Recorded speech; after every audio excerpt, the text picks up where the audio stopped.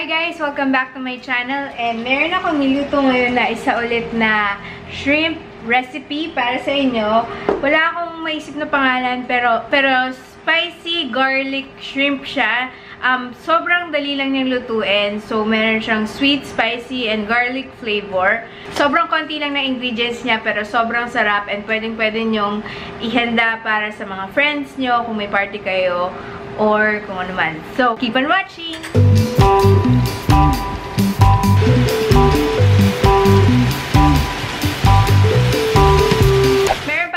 Pang shrimp recipe na in-upload, garlic shrimp and asparagus recipe. Sobrang bilis lang din nun and healthy. Kung hindi pa kayo nakasubscribe, please subscribe to my channel and check my other cooking videos. And keep on watching para malaman nyo kung paano iluto ang super daling recipe na to ng spicy garlic shrimp. So, ito na yung ingredients natin. Meron tayong butter, garlic, and then yung ating peeled and deveined shrimp. Tinanggal natin yung digestive parang tract niya, ganyan. And then, salt, pepper, and crushed chili. And then, meron din tayong hot sauce dito. And olive oil and brown sugar. Or kahit anong sugar meron kayo. And my pan, itong pan, hindi ito madumi. Pinaglutuan ko siya ng nakauna kong shrimp recipe, kaya ganyan yung itsura niya. And then I added olive oil and butter. So, yung butter na ginamit ko dito, yung maliliit na packs kasi hindi kami masyadong gumagamit ng butter and nasisira lang or natatenga lang kapag yung medyo malaking butter yung binibili namin. But this other one is an olive oil butter from Lurpak na ginagamit din namin sa bread. Kaya meron akong malaking butter. Pero kung yun nga, minsan lang kayo mag-butter, may um, technique ako doon, yung pack, small packets of butter yung binibili ko para hindi nasisira yung mga tirang butter. So, ayan. I added the minced garlic. Mga feeling ko tatlong kutsarang bawang itong ginamit ko dito. And I added a, another um, small packet of butter kasi eh, yung butter kasi yung main ingredient dito eh. Tsaka yung garlic. So, i-ayaw nyo na lang din sa amount ng hipon na yung butter.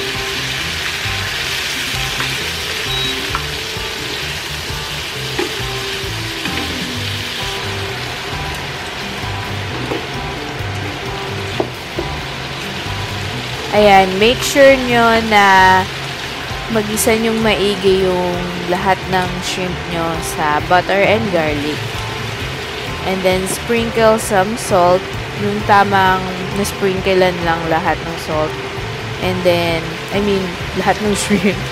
And then, add pepper. Ako, marami ako maglagay ng pepper. And then, chili, yung crushed chili natin.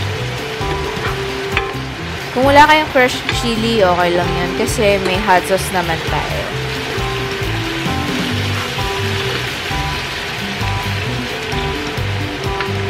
So, yan halu-haluin nyo lang. And then, the next ingredient is the hot sauce. Kung ano yung favorite nyo hot sauce, yun yung gamitin nyo. Ito, ito yung favorite ko. Chili and garlic sauce siya ng Mother's Best. Hindi to sponsored. Pero ang sarap nito. Parang para sa akin, kalasya niya yung sauce sa SNR. And then, I added 1 tablespoon of sugar. Brown sugar yung gamit namin. Kasi yun lang yung sugar namin parate, brown or raw sugar. And then, ayan, magiging malapot na siya dahil nilagyan natin ng sugar. And yun na yun. Kung meron kayong green onion, lagyan nyo siya ng toppings. Ako, naglagay lang ako ng thyme dito, yung spice na thyme na McCormick. And tignan nyo, ganun kalapot yung sauce niya. Okay guys, so titikman na natin siya. Sobrang bilis niya lang naluto. So, ano natin. Kung gusto niyo tanggalin yung tail niya, yung balat ng tail, para diretso kain na, go ahead. Ay, may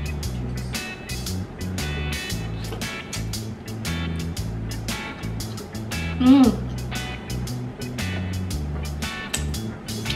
So, ang timpla nito, spicy siya na may onting sweetness.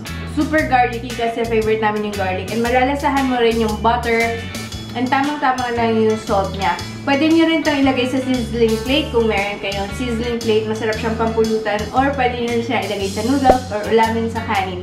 Kung meron kayong spring onions, sprinklean nyo lang para mas may green siya. Wala lang kasi ako nabili. Pero yun, I-try nyo to. Super dali lang siya. And super sarap. Favorite shrimp recipe namin to ni Alvin. Diretso na talaga, be. Dito.